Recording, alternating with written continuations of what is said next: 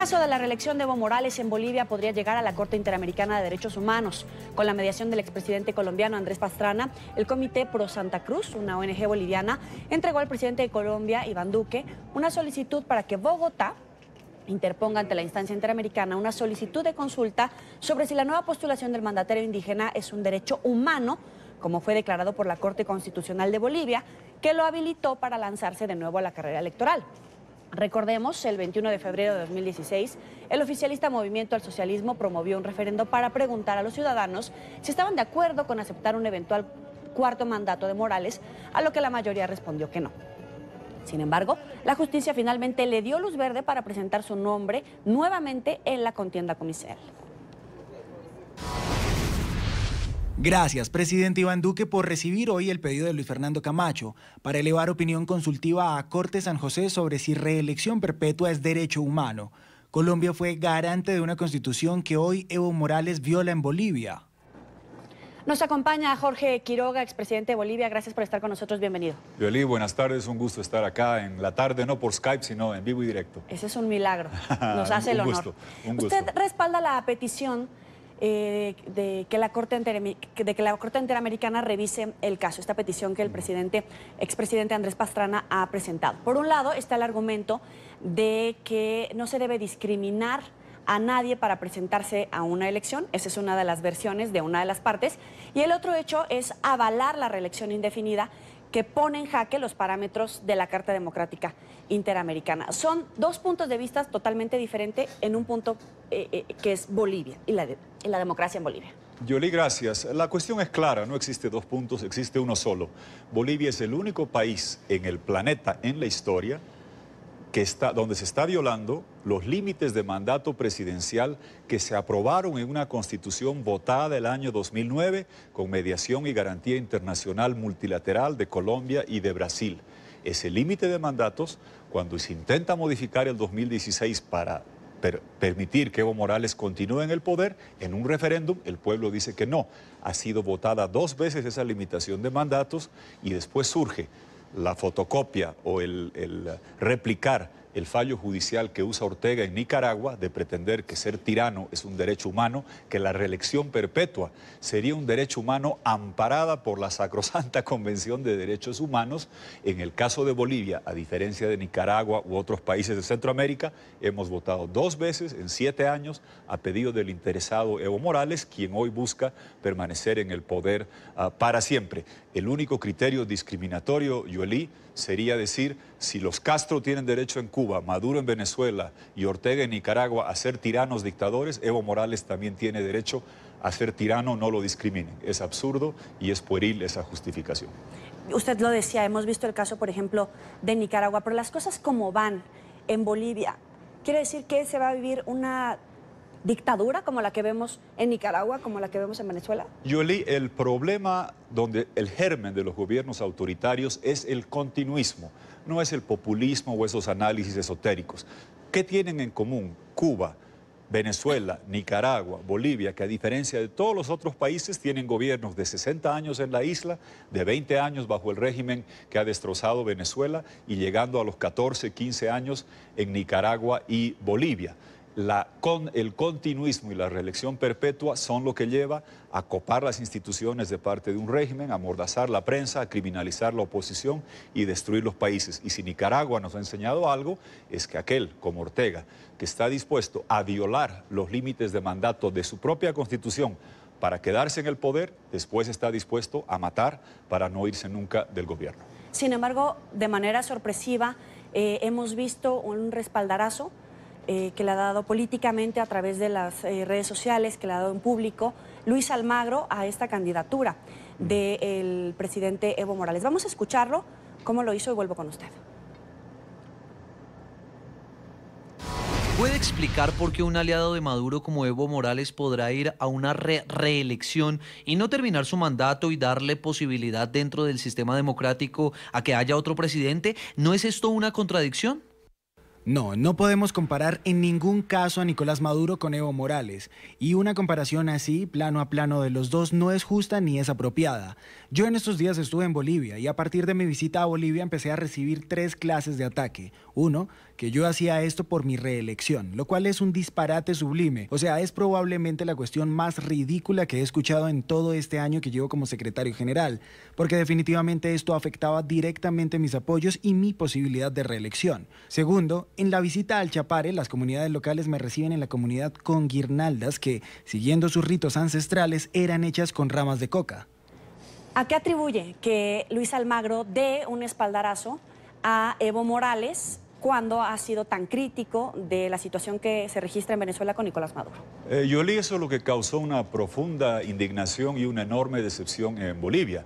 Por las redes, con tweets y con informes, Almagro el 2017-2018 había dicho una y otra y otra vez que la reelección no es un derecho humano, que doblegar la voluntad popular expresada en un referéndum a través de un fallo judicial no corresponde. Él pide un informe y un dictamen de la Comisión de Venecia, jurisconsultos europeos, que señalan con claridad que la reelección no es un derecho humano. Él hace un video y dice que la reelección perpetua y violar los límites de mandatos da pie, puede dar pie a una dictadura de facto. Fue taxativo y claro, ¿qué sucedió?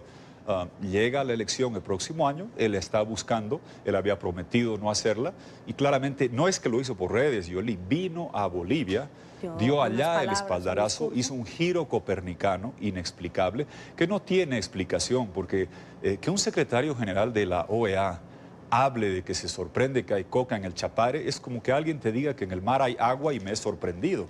Pablo Escobar sabía que había coca en el Chapare y la compraba hace 40 años y la importó a Colombia. Basta ver una serie de Netflix para saber la realidad. Son justificaciones eh, infantiles de un vuelco que se ha dado que no tiene explicación, que ha sido repudiado y rechazado. Y si sigues la prensa internacional de Argentina, Chile, claramente estaba en curso una intención, según dicen medios internacionales, ah, de buscar que la elección del secretario general no se haga el próximo año, sino que se anticipe ahora en junio, incluso en Medellín, que sería fatal, sería terrible replicar las técnicas de Maduro. ¿Qué hizo Maduro en Venezuela? La elección presidencial que correspondía ser en diciembre de 2018, la anticipa siete meses fraudulentamente con la Asamblea Narcocubana Constituyente para sin competidores y con fraude quedarse en el poder. El nuevo secretario general tendrá que ser elegido el próximo año, con los nuevos gobiernos, posiblemente de Argentina, de Uruguay, de Guatemala, de Panamá, eh, de Bolivia. Hay que eh, hacer las cosas a su tiempo ah, y no buscar em, quedarse en el poder anticipando los, eh, los plazos Créame, créeme que esa ha sido una jugada que le va a salir muy mal, porque algo muy sencillo, Maduro no le va a dar permiso a Evo Morales para votar por Almagro, aunque vaya y baile en el Chapare toda la noche como tristemente lo hizo. A eso iba, pero ¿hay alguna eh, base, alguna prueba de que en verdad había un pacto entre Evo y Almagro? Mire, hay, hay que ser demasiado ingenuo para no darse cuenta. ¿Cuál es la explicación del giro? ¿Qué cambió entre fines 2017, marzo 2018 a la fecha? Que Almagro, que había dicho que no iba a buscar la reelección, tenía el derecho estatutario, a diferencia de Morales, sí tenía derecho, más allá de lo que hubiese dicho en la campaña, tenía derecho para hacerlo. Pero venir a Bolivia, a la zona donde se produce la coca que se destina al narcotráfico, en la zona donde la, se hizo el abayato con una empresa brasileña OAS, cuyo dueño Piñero está preso por intentar hacer una carretera en esa zona al doble de precio, afectando una comunidad indígena y destrozando un parque nacional para extender los cultivos de coca que se hacen cocaína, más del 90%, y se van a la Argentina, Brasil y afectan enormemente a Bolivia. Ah, sorprendió por eso, porque no solamente fue hacer una declaración de lejos, estaban haciendo un acto de proclamación presidencial. Nunca en la historia un secretario general de la OEA o un presidente del BID ha ido a la proclamación de un candidato presidencial, peor el caso de uno que está buscando la re, re, reelección, violando la constitución, desconociendo un referéndum en la zona que es la meca del narcotráfico. Es inaudito lo que se vio y por eso causó una profunda indignación en Bolivia y créame, créeme que también una condena de países vecinos, porque en Argentina, Uruguay, Paraguay, Brasil, Chile, Perú, se sufre las consecuencias de la lacra narcotráfico, así como ustedes con Venezuela, Centroamérica y Estados Unidos también hacen otro circuito pernicioso que hace mucho daño a nuestras sociedades. Pero tomando lo que usted decía, es ingenuo, Luis Almagro, al pensar que si existe este pacto Bolivia, eh, e incluso Nicolás Maduro le va a dar el permiso a Evo Morales de que vote por este segundo mandato como secretario general de la OEA? Ah, Para mí es una ingenuidad ah, extrema el pensar que este gesto ah, va a llevar a algo bueno. Mire, el proyecto, el gobierno Morales es abiertamente servil al chavismo, a Nicolás Maduro, hace mucho tiempo. por eso es que cuando Almagro empezó, ojo, éramos escépticos al principio. Almagro estaba en el diálogo con Maduro el 2014. Él jura el 2015 diciendo que va a reintegrar a Cuba a la OEA. Con el tiempo pareció comprender que estos eran regímenes totalitarios, le dimos la bienvenida, celebramos su actitud en Venezuela, en Cuba, algo tardía en Nicaragua, y lo que hacía y decía sobre Bolivia y la defensa del voto popular, de la Constitución y de la democracia, reiteradamente el 2017-2018, por eso causó indignación, tristeza, decepción, su giro, eh, su, su vuelco que dio. La realidad es, te lo digo de esta forma, Yoli, claramente, si Maduro sigue en el poder, Evo Morales va a votar en la OEA de la forma que le diga Maduro. Si Maduro no deja el poder, el, control de facto dictatorial, usurpado que hace de Venezuela, se van a destapar todas las relaciones entre Bolivia y Venezuela que son terribles en términos de crímenes, de hechos de violencia que se van a destapar. Almagro lo sabe. En la CIDH hay un proceso por ejecución sumaria en Bolivia del gobierno actual con gente de Venezuela que estaba participando. Entonces, venir a avalar eso y pensar ingenuamente que va, eh, se va a lograr apaciguar a Bolivia, te reitero, si Maduro está en el poder, Morales va a votar por quien le diga Maduro. Si Maduro sale de la, del control de Venezuela, nadie va a poder recibir el voto de los satélites de Maduro en Bolivia y Nicaragua. ¿De qué tamaño es el daño que le hizo al secretario general de la OEA? Al prestigio de Luis Almagro, al prestigio de la institución, el proceder de estos últimos días? Mire, le hizo un daño enorme a la democracia, a la coherencia con los principios que uno debe mantener. Y aquí está hablando usted con alguien que ha sido deportado de Cuba, que ha sido declarado persona no grata junto al presidente Pastrana dos veces en Venezuela. Yo digo exactamente lo mismo en La Habana, en Caracas, parado en la puerta en Ramo Verde, que lo que digo acá y lo que digo en Bolivia. Eso es lo que la gente valora, la consistencia de tener la misma posición en cualquier lugar, en cualquier momento, sobre principios básicos de la democracia.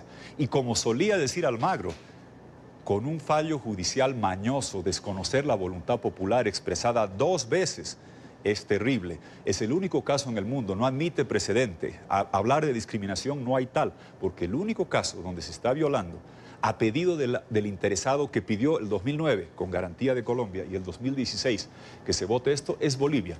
Y aunque fuese eh, igual, imagínese lo que significa decir que no puedo capturar o procesar al violador de este fin de semana porque los cuatro del año pasado siguen libres. Es casi dar carta blanca a la impunidad. Ortega debió hacer una fiesta en Nicaragua y los Castro en Cuba también. El decir que mientras haya un tirano, un violador, alguien que se perpetúa en el poder, es discriminar a otros tiranos, no permitirles hacer lo mismo. La Corte de San José se debe pronunciar. Lamentablemente, la Comisión Interamericana de Derechos Humanos ha guardado un silencio cómplice. Han hecho audiencias sobre esta materia, han venido a Bolivia y guardan un silencio cómplice. Son un hospital democrático que solo hace autopsias en Venezuela y Nicaragua cuando es tarde y no actúan a tiempo. Triste y vergonzoso y cómplice. Pero Almagro fue más allá. Pasó de la defensa de la democracia en Bolivia al silencio cómplice a la defensa activa, presencial de la violación de la Constitución. Triste. ¿Qué queda? Eso hemos pedido ayer al presidente Duque, como mostrabas acá, habíamos conversado con él un par de veces. Colombia y Brasil fueron garantes del acuerdo constitucional en Bolivia que se votó, que establecía una sola reelección. Eso fue ratificado en otro referéndum del 2016, ambas veces observado por misiones de la OEA que certificaron los resultados y relevaron que se limite la reelección, que la alternabilidad era buena y sana y Almagro tiene sus informes en sus manos. ¿Qué falta ahora? Que la Corte de San José se pronuncie, porque no puede ser, Yoli, imagínate en América Latina, todos los que somos signatarios de la Convención de Derechos Humanos, en países como México, como Brasil, como Chile, como Perú, Ecuador, se respetan los límites de mandatos. Más aún, en Colombia han recortado de dos mandatos a uno, el presidencial. Eh, Lenín Moreno en Ecuador, la reelección indefinida que pretendía Correa, vía referéndum la recortó. En Perú acaban de eliminar la reelección de alcaldes, concejales y diputados. ¿Son violadores de derechos humanos en Colombia, en Perú, en Ecuador? No. Entonces es contradictorio que hay países, la mayoría, que respetan los límites, otros que los recortan y solo países como Nicaragua, como Bolivia, como lo que se vio en Honduras, que pretenden que la reelección perpetua es un derecho humano amparado por una convención de la OEA diseñada, Yoelí, para proteger a los ciudadanos de los caprichos del tirano y no para que el tirano caprichoso se quede en el poder para siempre, desconociendo en Bolivia lo que hemos votado dos veces los ciudadanos. Ahora, Luis Almagro decía que muchos de estos eh, países de la OEA le habían expresado su deseo de que se reeligiera, eh, porque si no podría entrar en una etapa de inestabilidad. ¿Qué tan medular es Luis Almagro en la crisis de Venezuela? A ver, yo le puedo decir que mm, yo estuve en Venezuela políticamente, no en visitas de ministro o de autoridad, apoyando a la oposición la primera vez con Pollo Sala Romer Feo en Valencia, Carabobo, el 2004 Estoy consciente que el chavismo se apoderó de mi país el 2006, que hizo un daño enorme. Y algunos, el presidente Pastrana, mi buen amigo, hemos venido luchando sostenidamente por la causa venezolana. Dimos la bienvenida a que del silencio de Insulza se pasó a una posición firme de Almagro. Y también celebramos que desde el 2007 tome una posición clara sobre Cuba y que también defienda lo de Bolivia. Por eso causó enorme extrañeza este giro y vuelco. Pero dicho eso, para cualquier país, para cualquier organización, yo no creo en Superman. Yo no creo en la figura imprescindible. Eso es lo que hace Maduro, eso es lo que hace Ortega, eso es lo que hace Castro, de decir somos nosotros o nadie o todo colapsa. Si me preguntas, yo conozco gente perfectamente apta, competente, demócrata, consistente, que puede perfectamente ser secretario general de la OEA si me dices, cíteme un ejemplo, Laura Chinchilla, admirable estadista, mujer, expresidenta de Costa Rica, ha estado dos veces en Venezuela, defiende lo que pasa en Nicaragua, una mujer enormemente competente. no, no, hay, no hay imprescindibles. créame que compromiso con la defensa de la democracia en Venezuela, Nicaragua. El presidente Pastrana le puede decir, nuestro sindicato de expresidentes de la Iniciativa Democrática de las Américas, que hace varios años venimos defendiendo lo de Venezuela, hemos estado en Cuba, somos como 30 expresidentes, gente comprometida, con principios, con coherencia y con convicción, que no andamos cambiando en función a lo que sea el interés coyuntural, porque hacer lo que fuese para quedarse en el cargo es lo que hace Maduro en Venezuela, es lo que hace Ortega en Nicaragua, es lo que está haciendo Evo Morales en Bolivia y si es malo allá, es malo para la OEA también. Luis Almagro entonces debe de reconsiderar su postura y abandonar la idea de buscar un segundo mandato. No, no, ah, mire, yo no, yo no voto. Lo que le puedo decir es que para los que luchamos por la democracia en Bolivia, el daño que le ha hecho Almagro a la, a la lucha por la democracia es el más grande de la historia, porque te repito, va más allá del cambio de posición Nadie nunca ha ido a una proclamación presidencial para un cuarto mandato en la zona cocalera donde se está desconociendo la voluntad popular, tema que él solía vehementemente condenar y sin embargo va, baila, eh, se mezcla con gente que tiene procesos por narcotráfico, por, violación, por violencia contra efectivos policiales y causa una enorme eh, indignación. Comprenderás que para Bolivia ah, un funcionario que, hace, que va a una proclamación presidencial de la, y que facilita lo que él mismo solía denominar dictadura de facto, para los bolivianos comprenderás que no es una persona, los, los demócratas, no hablo de Evo Morales, que goce de la confianza, que tenga la consistencia y el apego a los principios necesarios para defender la Carta Democrática y uh, defender la democracia en la región. Expresidente, aprovechando que está aquí, quisiera abordar también el tema Venezuela. El número dos del régimen madurista volvió a remeter contra los diputados del gobierno interino de Venezuela y en su programa con el Mazo Dando, Diosdado Cabello informó que a más diputados de la Asamblea Nacional se les allanará la inmunidad parlamentaria. Según Cabello, los legisladores se van de la justicia y son responsables del supuesto golpe de Estado que dice el chavismo adelantó el presidente interino Juan Guaidó. Esto contra Nicolás Maduro el pasado 30 de abril. Se trataría de otros cinco diputados cercanos a Guaidó, Cabello además dijo que es mentira que el vicepresidente de la Asamblea, Edgar Zambrano, esté desaparecido como lo ha denunciado su familia.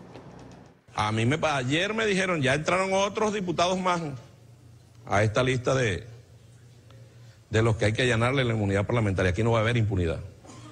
No puede haber impunidad. Como nosotros no matamos, no perseguimos, no desaparecemos a nadie, entonces tiene que funcionar la justicia. ¿Qué está tratando de hacer el madurismo contra la Asamblea Nacional? instalar la segunda Cuba y defenestrar a la Asamblea Nacional. Ese hombre, Dios mío, ¿qué le has dado a, este Diosdado Chapello, el chapito de Venezuela? Es tenebroso y créeme, créame, lo he visto. Recuerdo que el 2015 Laura Chinchilla y otros andaban preocupados porque así como lo ves ahora, salió a decir expulsen a Quiroga y aparecían vagonetas de mm. Porque yo pedí que se cierre las mesas, se respete el voto y no se haga fraude uh, públicamente. Y es un hombre que siempre hace esto, amenaza. Y él fue el presidente del Congreso saliente del 2015 que perdió su poder. Y después castró al Congreso vía la instauración de jueces que no permitieron al Congreso aprobar ni la ley de gravedad. No podían aprobar presupuestos, designar gente, ah, fiscalizar, hacer absolutamente nada por el control judicial que tenía este tenebroso personaje. Ahora es el presidente de la Asamblea Narco-Cubana, la Nacional Constituyente, que pretende terminar la faena. Castró al Congreso, pero el Congreso siguió, ahora llegó Guaidó, quiere terminar la tarea de destrozar el Congreso, instaurar una dictadura plena, abierta, abierta, dura, pura, criminal y delincuencial, y obviamente seguir expoliando Venezuela con el contrabando de gasolina para este lado, el tráfico de cocaína para allá, la explotación del oro más allá, instaurando lo que es un Estado puramente criminal simbolizado por ese tenebroso personaje. Para hacer eso necesita concluir la faena en la que viene empeñado hace años, que es cerrar definitivamente el Congreso e instalar un sistema a la cubana total con este, esta asamblea narco-cubana, narco-soviet que él preside. Ahora, todas las fuerzas políticas antimaduristas deben estar alineadas con ni siquiera prestar oídos a esta idea de Nicolás Maduro de adelantar las elecciones en la Asamblea Constituyente, como dice Juan Guaidó, porque puede ser también una prueba de fuego. Si los divide, podría retomar el poder que tiene. Uh, Juan Guaidó tiene abrumador respaldo internacional, más de 50 países, tiene masivo respaldo popular ah, interno y plena legalidad constitucional. Maduro se está quedando a través de la instauración dura de un Estado criminal. Lo que hay que hacer, lo que el mundo está pidiendo es elecciones presidenciales porque nadie aceptó el fraude de mayo del año pasado cuando adelanta comicios para sin competidores fraudulentamente con chantaje del hambre y bolsas CLAP robarse la elección. Lo que demandan todos, Grupo de Lima, Grupo de Contacto, es nuevas elecciones presidenciales. A mí me parece central lo siguiente, Yoli hay que ir camino al 26 de junio. Medellín será la asamblea de la OEA. No hay que esperar hasta esa fecha, pero ya tendrá que tener un desenlace la situación de Venezuela camino a la asamblea de la OEA. Yo he hablado acá la semana pasada y he sugerido que se unifique esfuerzos, que se cree la, la, reunión de Bogotá, el grupo de Bogotá, el mecanismo de Bogotá, que pueda congregar al grupo de Lima, al grupo de contacto de europeos y que se tenga una sola posición coherente respecto a exigir elecciones presidenciales, sancionar a la cleptocracia criminal y respaldar a Juan Guaidó frontal y abiertamente para que él pueda salvar la democracia de Venezuela. Pero son pronunciamientos internacionales de organismos internacionales. ¿Cómo lograr esta etapa que es la más difícil de la transición? Porque no va a salir negociando, no va a salir platicando. Bueno, seguir con lo que se viene haciendo, las sanciones a la cleptocracia criminal. El problema, Yueli, te voy a decir cuál es, que cuando a uno de estos delincuentes lo sancionan en Estados Unidos, le congelan cuentas, le quitan la visa, se va para Costa Rica. Cuando lo hacen en Costa Rica, se van para España. Cuando le hacen en España, se van más allá. Al unísono, todos los países del Grupo de Lima, del Grupo de Contacto, que es la gran mayoría de los países europeos, tienen que aplicar sanciones, incautar bienes, remover visas y decir claramente lo, el único camino es elecciones libres con un gobierno interino uh, encargado, como se dice, de Juan Guaidó para redemocratizar Venezuela y no permitir que Maduro juegue en decir, a veces escucho al grupo de Lima y lo rechazo, converso con el grupo de contacto y después ahora converso uh, con Noruega.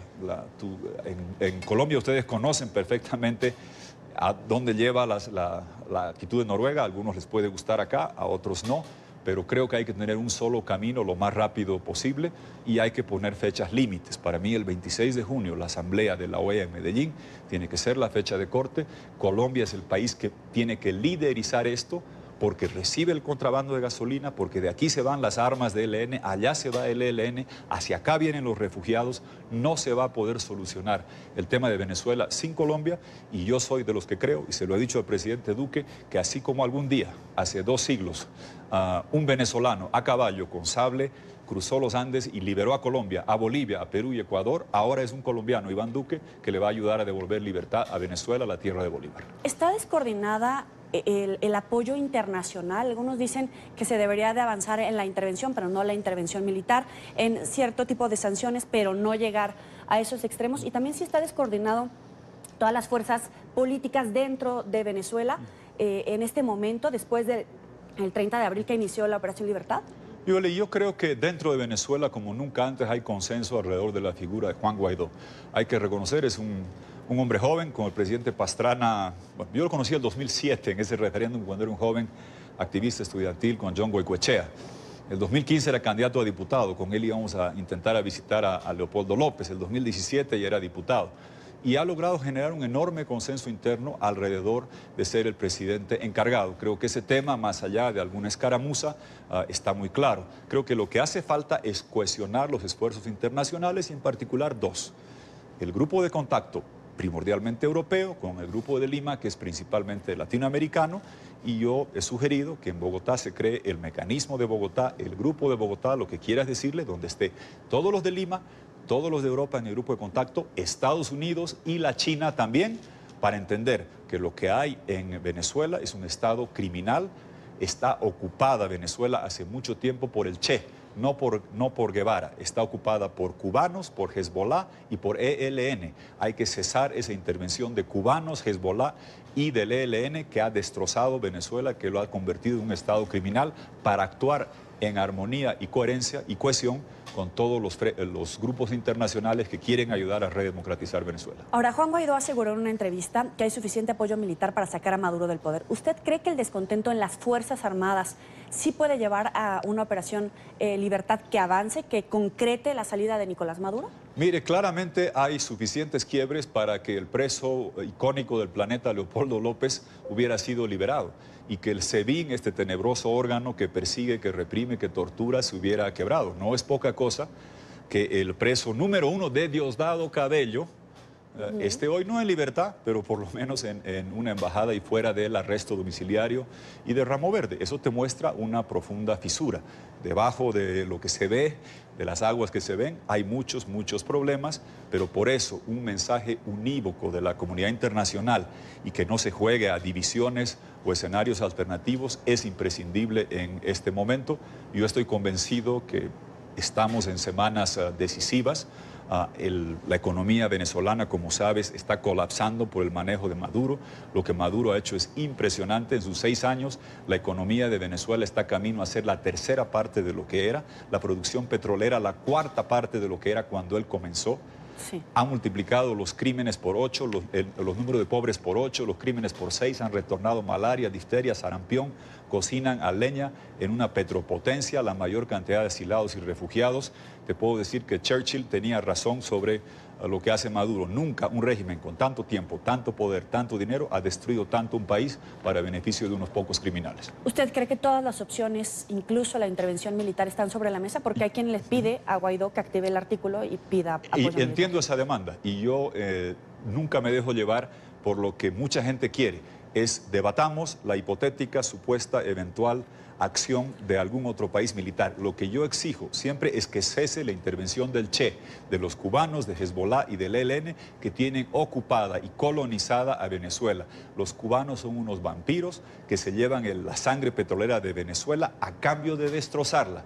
Ha sido el programa de robo bilateral más grande de la historia, lo siguen haciendo y hablando de la comunidad internacional, se debería hacer un cerco, no solamente como dice el presidente Duque, diplomático, económico, sino un cerco criminal para evitar que se roben la gasolina, que se roben el petróleo a Cuba, que se lleven el oro, que saquen cocaína en aviones, para evitar, para generar este cerco criminal que les quite los recursos robados producto de estas actividades ilícitas que son lo que sostiene a estos grupos criminales, donde la jerarquía militar superior es socia de los negocios y los del medio están siendo torturados y maltratados por cubanos. Hay que llamar a la intervención, tiene que cesar la intervención de cubanos, de Hezbollah y de ELN, en particular de los cubanos que han colonizado y destrozado Venezuela.